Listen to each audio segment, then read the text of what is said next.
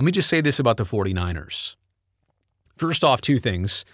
I'd have to think that they're Super Bowl favorites. I mean, I know they are. I saw the odds.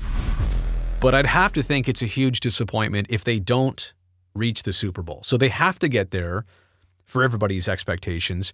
And if they play the Ravens, that game from a couple weeks ago, it was, trust me, it was actually a good thing.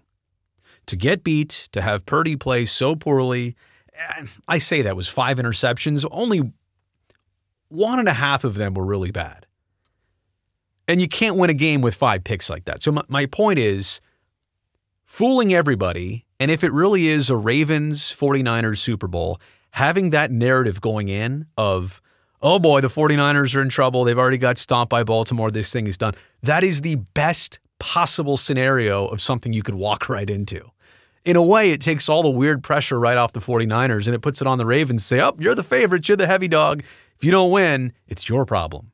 And trust me, the weeks, the two weeks leading into the Super Bowl, that's all the the media hype and the buzz and the talk is about. They they will build up every single angle before then.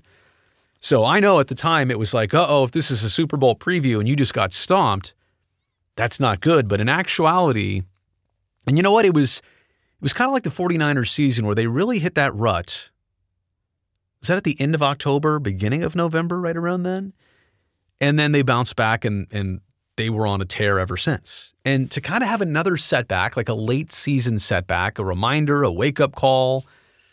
Um, and I know there's some bumps and bruises with the 49ers, and hopefully that can be can be mitigated here down the stretch, a little extra rest. But my point is, at this juncture, they have to get to the Super Bowl. And I like the way they're set up if, in fact, it's the Ravens. If it's somebody else, quite honestly, you know, I, I don't. There's there will be storylines there too, but especially if it's Baltimore and San Francisco playing for the Super Bowl.